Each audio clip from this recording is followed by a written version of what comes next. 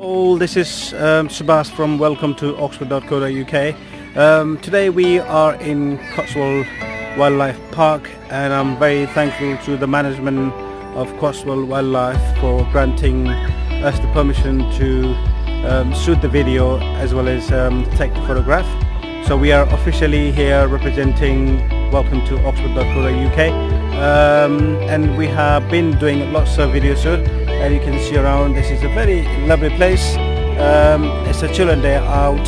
And today is Saturday and it's very much crowded. And um, you can see in my background uh, there's lots of place to go around.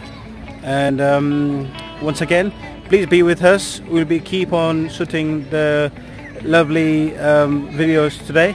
And we'll be taking lots of videos of the animals around. And just to recommend if you're from Oxfordshire or if you're from uh, any part of England please do visit. This is one of the best places to visit or day out with the family. You know as you enter the Cotswold Wildlife Park uh, this is the entrance. That is the place where you have to come first if you're coming by car. And you can use both the lanes and you'll have to pay the entry fee here.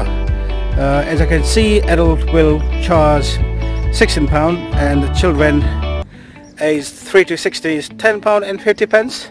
And children from 0 to 2 years they're free. So make sure you make a payment here. And the good thing is you can make a payment by card as well. To let you know the Cotswold Wildlife Park has a plenty of parking. There is no problem of parking at all.